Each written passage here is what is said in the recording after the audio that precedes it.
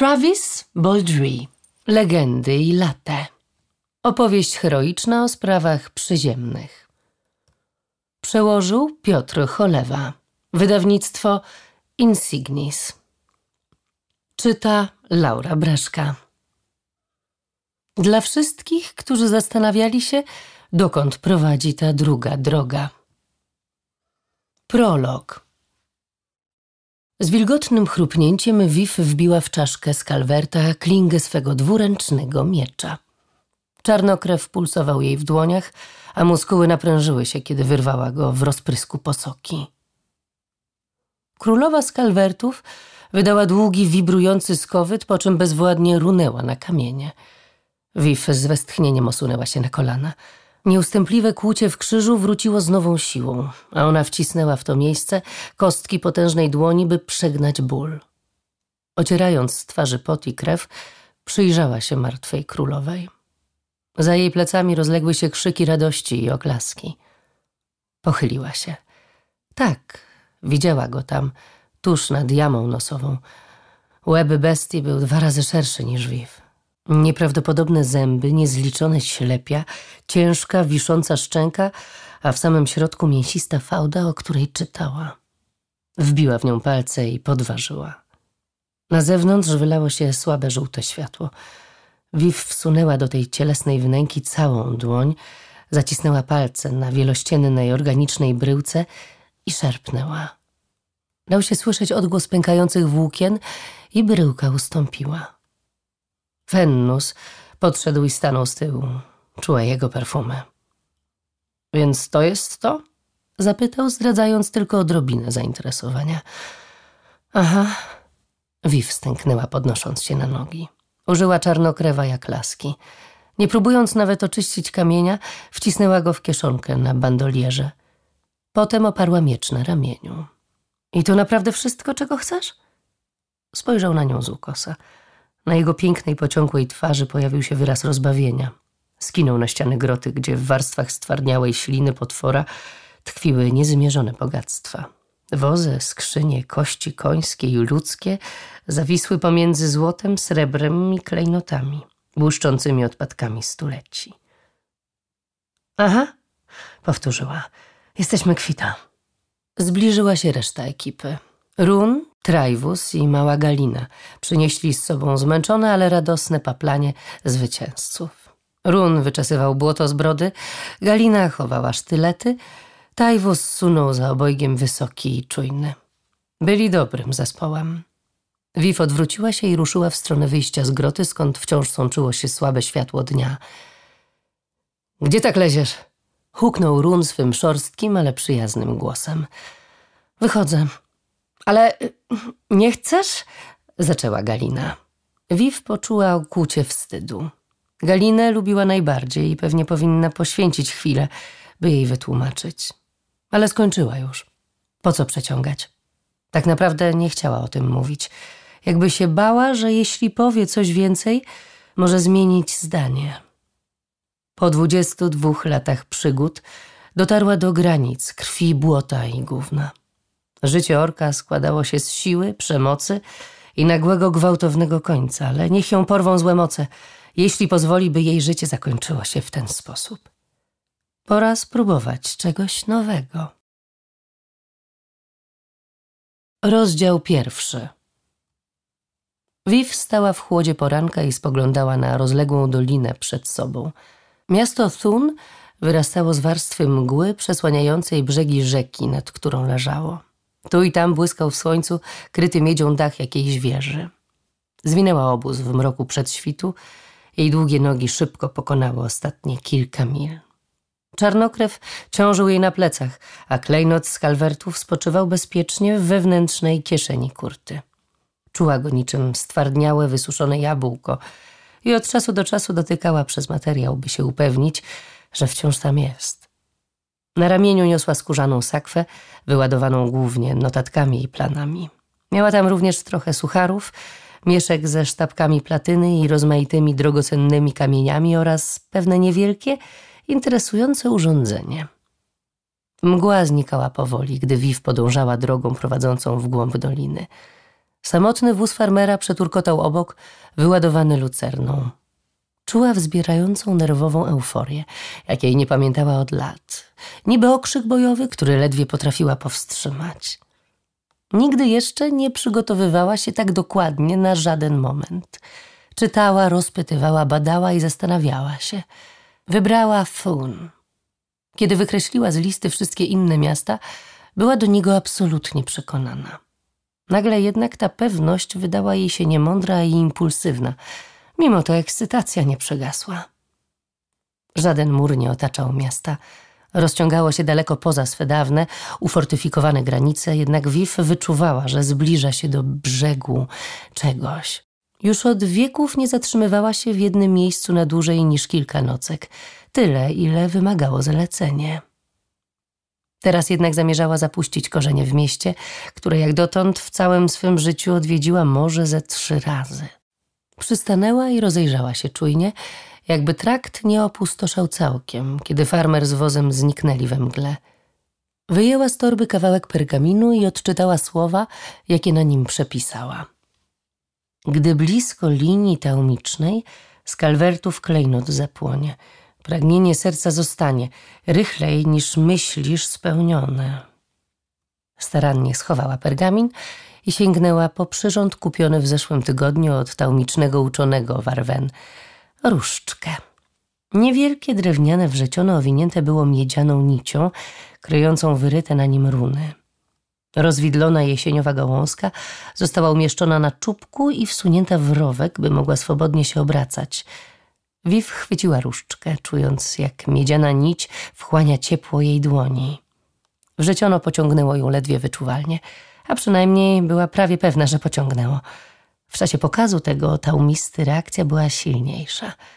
Orczyca stłumiła nagłą obawę, że wszystko to było jedynie sztuczką – Ludzie mający stałe adresy zamieszkania zwykle unikali oszukiwania orków dwa razy wyższych od siebie, którzy mogliby złamać rękę, gdyby zbyt mocno uścisnęli dłoń. Odetchnęła głęboko i trzymając różdżkę przed sobą, ruszyła w stronę Fun. W miarę jak zagłębiała się w uliczki, coraz głośniej rozbrzmiewały odgłosy budzącego się miasta. Na przedmieściach domy były głównie drewniane, choć tu i tam zdarzały się fundamenty z rzecznego kamienia. Dalej zaczynał przeważać kamień, jakby miasto wapniało z wiekiem. Błotnista ziemia ustępowała gdzieniegdzie kamiennym alejom, a te bliżej centrum brukowanym ulicom. Świątynie i tawerny kuliły się wokół placów i wokół pomników ludzi, którzy zapewne byli kiedyś ważni. Wszelkie wątpliwości co do różdżki rozwiały się bez śladu. Przelotne drgania przeszły w uparte szarpnięcia i teraz wyraźnie ciągnęła Wif niczym żywe stworzenie. A zatem jej badania nie poszły na marne. Najwyraźniej pod miastem splatały się linie mocy, potężne strumienie taumicznej energii. Uczeni spierali się, czy powstały one w miejscach, gdzie gromadzili się ludzie, czy raczej ściągały ludzi do siebie, jak ciepło w zimie. Jednak dla Wiw liczyło się tylko to, że tam były. Oczywiście znalezienie solidnej linii mocy to był dopiero początek. Małe widełki z jesionowego drewna obracały się w prawo i w lewo, ciągnąc przez chwilę w jedną stronę, by nagle zawrócić i niczym ryba na haczyku poholować wiw w stronę przeciwną. Po pewnym czasie nie musiała już nawet na nie patrzeć, wystarczył sam dotyk. Zaczęła więc uważniej się przyglądać mijanym budynkom – Różdżka prowadziła ją przez szerokie arterie i łączące je kręte zaułki, obok kuźni, zajazdów, targowisk i tawern. Na ulicach niewielu było przechodniów jej wzrostu i ani razu nie musiała przeciskać się przez tłum. Czarnokrywy zwykle tak działały. Przechodziła przez wszystkie warstwy zapachów, jakie tworzyły miasto. Świeżo wypiekany chleb, budzące się konie, mokry kamień i gorące żelazo, kwiatowe perfumy i stare odchody – te same zapachy spotykało się w każdym mieście, a gdzieś pod nimi płynął dodatkowo poranny zapach rzeki. Czasami między zabudowaniami Wiw dostrzegała szprychy wodnego koła młyna. Pozwalałaby różdżka wiodła ją gdzie zechce.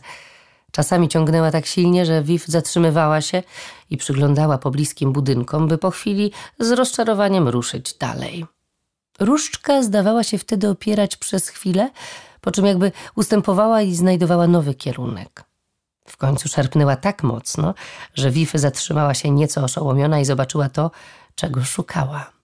Nie na głównej ulicy. Nie liczyła na tak wiele, ale na tej, która z nią sąsiadowała. Wzdłuż niej wyrastały lampy naftowe, wprawdzie wygaszone teraz, ale raczej nie groził tutaj cios noża w ciemności. Budynki na piaskowców były wyraźnie stare, ale dachy miały zadbane. Wszystkie z wyjątkiem tego jednego, do którego doprowadziła ją różdżka. Był raczej nieduży jak na swoją funkcję. Z jedynego ocalałego żelaznego ćwieka zwisał szyld Stajnia Parkina. Z rzeźbionych liter już dawno złuszczyła się farba. Budynek miał parę okutych żelazem drewnianych wrót, otwartych teraz na oścież. Zamykająca je kiedyś poprzeczna belka stała obok, oparta o mur. Po lewej stronie były mniejsze drzwi, orkowych rozmiarów, wyposażone w zabawną w tej sytuacji kłódkę. Viv wsunęła głowę do środka. Przez dziurę w dachu sączyło się światło, a w szerokim przejściu między sześcioma zagrodami dla koni leżało kilka roztrzaskanych glinianych dachówek. Wątpliwej wytrzymałości drabina prowadziła na strych. Po lewej stronie był kantorek z pokoikiem na zapleczu. Z paśnika w głębi dochodził kwaśny odór pleśniejącego siana, a w promieniu światła wirował kurz, jakby nigdy nie opadał. To było najlepsze, na co mogła liczyć. Schowała różdżkę. Kiedy znów wyszła na bardziej już ruchliwą ulicę, zauważyła naprzeciwko pomarszczoną staruszkę zamiatającą podest przed drzwiami. Z pewnością robiła to, odkąd Wiw się tu pojawiła, a Ganek niewątpliwie lśnił już czystością. Jednak kobieta pracowała nieustępliwie, co chwilę zerkając dyskretnie w stronę przybyszki. Wiw podeszła do niej. Staruszka przynajmniej postarała się udawać zaskoczoną i przywołała na twarz coś zbliżonego do uśmiechu. Wiecie, do kogo ten budynek należy? spytała Wiw, wskazując stajnie. Kobieta była od orczycy o połowę niższa i musiała wyciągać szyję, by na nią spojrzeć. Oczy staruszki niemal zniknęły, kiedy skupiona twarz pokryła się siecią zmarszczek. Stajnia znaczy? Zgadza się. No więc. Z namysłem przeciągnęła to słowo, ale Viv była przekonana, że nie ma żadnych kłopotów z pamięcią. To stary Anson, jeśli dobrze sobie przypominam. Nigdy nie miał głowy do interesów, ani do rzemiosła, ani mężowskich obowiązków, gdyby posłuchać, co stara Ansomowa o tym mówiła. Viv nie mogła nie zauważyć znaczącego ruchu brwi staruszki. A nie Parkin? Nie, nie chciało mu się szyldu zmieniać, jak to kupił. Orczyca uśmiechnęła się z rozbawieniem, odsłaniając przy tym dolne kły. Wiecie może, gdzie go znajdę? Pewności nie mam, ale myślę sobie, że wykonuje jedyną robotę, która zawsze mu się udaje. Przekręciła wolną rękę, podnosząc do ust wyimaginowany kufel. I gdybym to ja chciała go spotkać, to bym spróbowała w kościstym zaułku. Jakieś sześć przecznic stąd. Skinęła na południe. Tak wcześnie? Och, tę robotę traktuję bardzo poważnie. Mm, dziękuję, panno. panno, tak? Staruszka zarechotała. Możesz mi mówić Lejni. A ty planujesz być moją nową sąsiadką? Wykonała zachęcający gest. Viv. Viv. Lejni kiwnęła głową. Przekonamy się. Zależy, czy Anson faktycznie tak marnie prowadzi interesy, jak mówicie.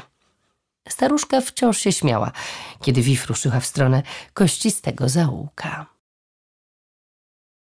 Niezależnie od tego, co mówiła Lejni, tak naprawdę Wif nie spodziewała się, że o tej porze znajdzie tam nieszczęsnego Ansoma. Uznała raczej, że zapyta o niego w każdej napotkanej otwartej spelunce, a kiedy dowie się, gdzie bywa, wytropi go pod koniec dnia. Jak się okazało, potrzebowała ledwie trzech przystanków, zanim trafiła na jego miejsce pobytu. Kiedy o niego spytała, oberżysta zmierzył ją wzrokiem i znacząco uniósł brwi na widok wystającej za jej ramieniem rękojeści czarnokrewa. Nie chcę żadnych kłopotów, chodzi tylko o interesy. Oświadczyła spokojnie orczyca, próbując wyglądać mniej groźnie. Oberżysta wyraźnie uspokojony, że nie szuka zwady, skinął kciukiem w stronę kąta sali, po czym wrócił do brudu na kontuarze, który przesuwał ścierką w nowe, ciekawsze lokalizacje.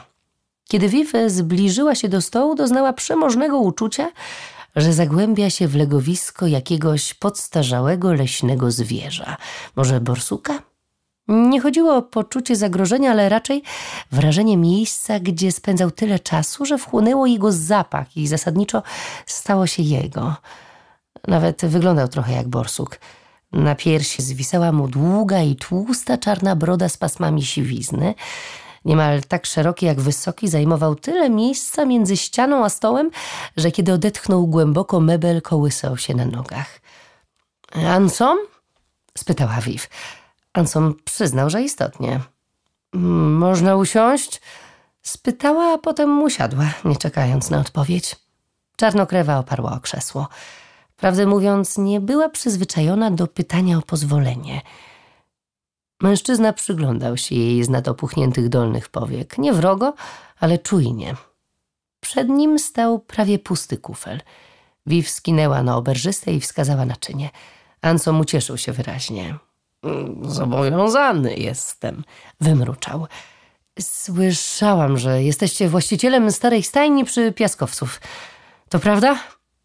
Anson przyznał, że istotnie. Chcę ją kupić, oznajmiła Viv. I mam przeczucie, że wy chcecie ją sprzedać. Jej rozmówca był chyba zaskoczony, ale tylko przez moment. Wzrok szybko mu się wyostrzył i choć może nie miał głowy do interesów, Viv nie miała wątpliwości, że znał się na targowaniu. Może i tak, burknął. No, ale to znakomita nieruchomość. Doskonała. Miałem już oferty, ale większość chętnych w ogóle nie umiała spojrzeć poza ten budynek, żeby docenić wartość lokalizacji. Inaczej mówiąc, za nisko licytowali. W tym momencie oberżysta zamienił jego pusty kufel na pełny i Janson wyraźnie się rozgrzał do tematu. No tak, bardzo dużo żenujących ofert. Muszę was uprzedzić, że wiem, ile ta ziemia jest warta i nie widzi mi się jakoś, żebym ją sprzedał komukolwiek, kto nie jest poważnym biznesmenem, znaczy no, kobietą interesu. Poprawił się. Viv błysnęła zębami w rozbawionym uśmiechu, wspominając Laney. Widzicie, Ansom, bywają różne interesy. Bardzo mocno świadoma stojącego za nią miecza, Pomyślała, jak skutecznie jej dawny fach ułatwiłby te negocjacje. Ale mogę was zapewnić, że kiedy już jakieś interesy robię, to zawsze jestem poważna. Sięgnęła do torby, wyjęła sakiewkę ze sztabkami platyny i zważyła ją w dłoni. Wyjęła jedną, chwyciła między kciukiem a palcem wskazującym i przyjrzała się uważnie, pozwalając, by metal odbijał światło. Platyna była walutą rzadko widywaną w takich miejscach – będzie musiała szybko wymienić je na monety o niższych nominałach. Wolała jednak zachować kilka na właśnie taką chwilę jak ta.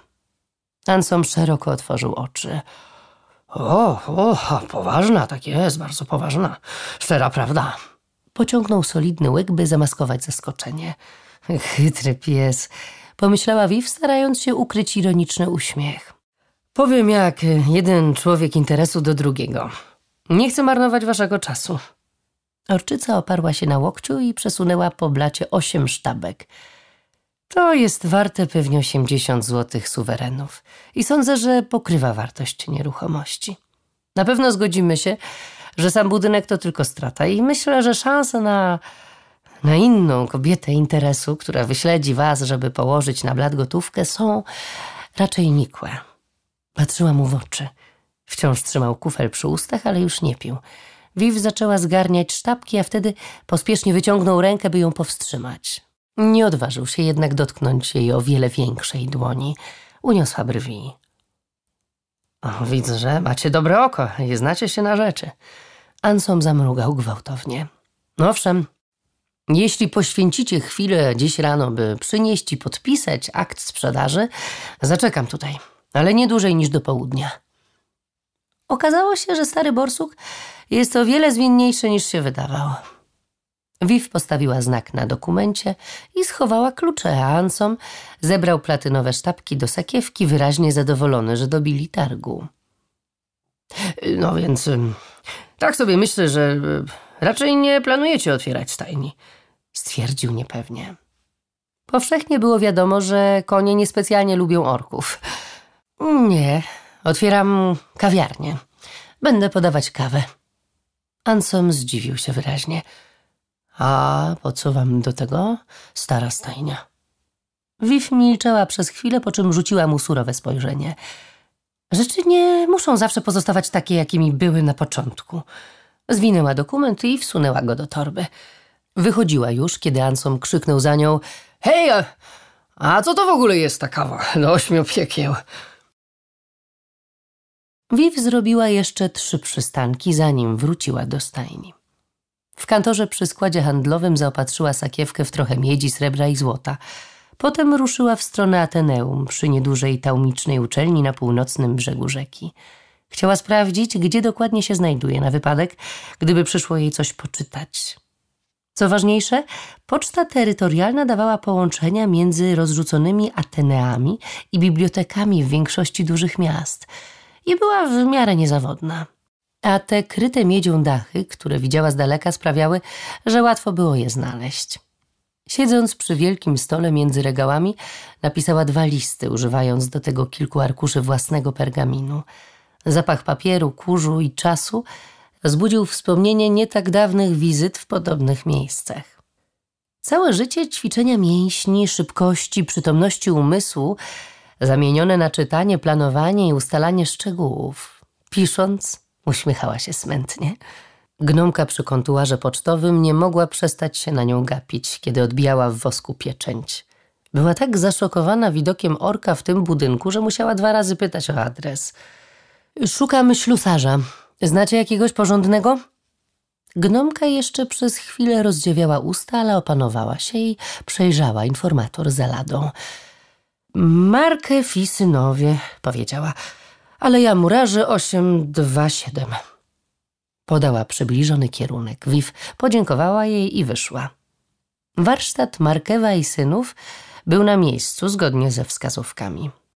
Lżejsza o sztukę srebra i trzy miedziaki odeszła niosąc pod pachą wielki i dosyć ciężki sejf.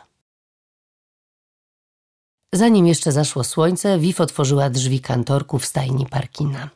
Zablokowała belką wrota i przeciągnęła sejf za ladę w kształcie litery L. Schowała tam akt własności i swoje fundusze, zamknęła drzwiczki, a klucze zawiesiła na szyi. Przez chwilę sprawdzała stopami i czubkami palców, aż znalazła obluzowany kamień w przejściu między zagrodami – Mocno napinając mięśnie, podważyła go i przesunęła. W ziemi pod spodem wykopała dołek i starannie ułożyła w nim klejnot z kalwertów. Przysypała go dokładnie, umieściła kamień na miejscu i przeciągnęła parę razy sztywną, łysiejącą miotłą, żeby wyglądał na nieruszony. Przez chwilę wpatrywała się w to miejsce. Wszystkie jej nadzieje skupiały się w tym niewielkim kamieniu, zakopanym niby ukryte serce stajni Parkina. Nie, już nie Parkina. To miejsce należało teraz do Viv. Rozejrzała się.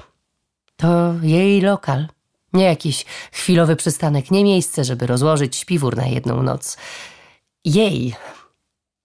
Rześkie wieczorne powietrze spływało przez dziurę w dachu, więc przynajmniej będzie się czuła jak każdej innej nocy pod gwiazdami. Spojrzała w górę na strych i prowadzącą tam drabinę. Sprawdziła stopą jeden z niższych szczebli, który rozpadł się w drzazgi jak balsa. Prychnęła, odpięła czarnokrewa i oburącz cisnęła nim na górę, strasząc statko gołębi, które uciekły przez dach. Przez chwilę spoglądała za nimi, po czym rozwinęła śpiwór w jednej z zagród. Trudno, nie będzie dziś ogniska, nie warto też było nawet wspominać o latarniach, ale to nic. W gasnącym świetle rozejrzała się po wnętrzu stajni, lawirując wzrokiem między końskim łajnem przedwieczy i kurzem zapomnienia. Nie znała się na remontach, ale było jasne, że to miejsce będzie wymagało gigantycznej pracy. Ale na jej końcu coś, co zbudowała zamiast zniszczyć. To śmieszne, ma się rozumieć. Kawiarnia w mieście, gdzie nikt nawet nie wie, co to kawa – Zresztą jeszcze sześć miesięcy temu ona sama nie słyszała o czymś takim, nigdy jej nie wąchała, nie kosztowała. Na pierwszy rzut oka przedsięwzięcie wydawało się całkiem bez sensu. Uśmiechnęła się w mroku. Kiedy w końcu położyła się na posłaniu, zaczęła układać listę zadań na następny dzień. Nie dotarła jednak nawet do jej trzeciej części. Spała jak zabita.